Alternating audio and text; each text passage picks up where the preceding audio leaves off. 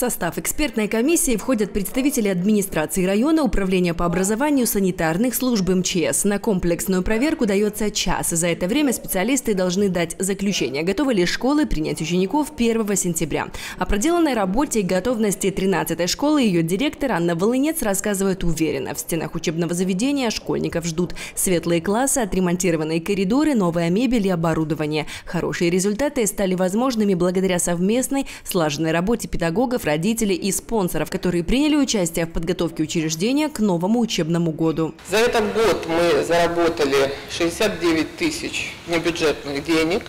Э, это больше на 16 тысяч, чем в прошлом году, из которых 20 тысяч – это помощь наших родителей, э, членов попечительского совета. Э, ежегодно мы планируем наши ремонты в сентябре месяце всегда отчитываемся перед родителями с председателем попечительского совета по деньгам, которые мы потратили, и сразу планируем, что мы будем делать на следующий учебный год. Немало усилий было направлено на обустройство пищеблока, и не случайно. Особое внимание в подготовке заведений к новому учебному году сделано на организацию питания. В этом году было закуплено 56 единиц торгово-технологического оборудования, 14 холодильников мы купили, 14 плит. Все предписания Центра гигиены и эпидемиологии, которые существовали у нас прошлого, позапрошлого года, в этом году были выполнены в полном объеме. Вообще следует отметить, что за последние пять лет в системе образования Ленинского района 90% торгово-технологического холодильного оборудования, оборудование для прачечных дошкольных учреждений образования было заменено на современное, энергоемкое. Поварами мы, кстати, тоже укомплектованы 100%. И тоже нашей особенностью является, что впервые за последние 6 лет мы 100% укомплектовали все пищеблоки учреждений общего среднего образования и дошкольного образования поварами. Соблюдение требований безопасного питания, пожарной безопасности и охраны труда, благоустройство территории, состояние спортивных залов, площадок, учебных кабинетов и пищеблоков – это основные критерии для организации образовательного процесса. Но не менее важным остается вопрос укомплектованности педагогическими кадрами. К 1 сентября на учительский пост заступят 75 молодых специалистов. Вероника Ашманева – одна из них. По распределению девушка попала в 20-ю школу. Школа очень престижная, очень красивая. Меня очень порадовал участок именно вот, э, конечно, просторные красивые классы, современное оборудование, все очень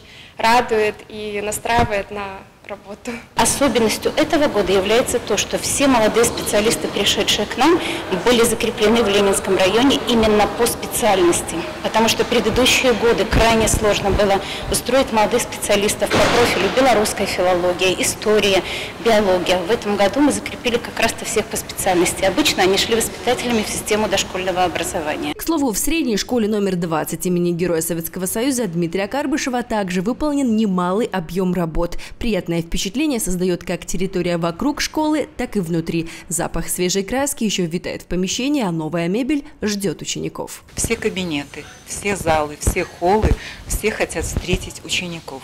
Нам очень помогли наши шефы.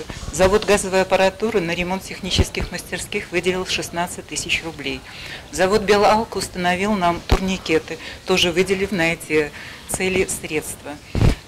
Республиканская федерация футбола сделала нам замечательный подарок к тысячелетию Бреста, конкретно 20-й школе, новую спортивную площадку.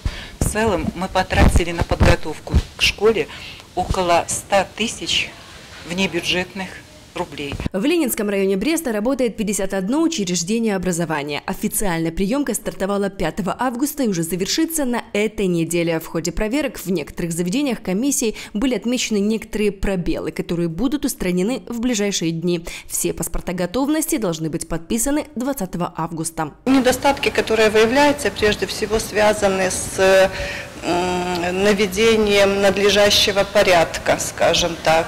Где-то устранить затеки небольшие на стенах, где-то подшлифовать, может быть, парты, мебель учебную, кое-где там заусеницы мелкие. Даже, то есть мы смотрим самые мелкие вопросы и даем рекомендации по устранению таких проблем. Виктория Нечаева, Григорий Пекарский, Дмитрий Лазарчук, телекомпания Бук ТВ.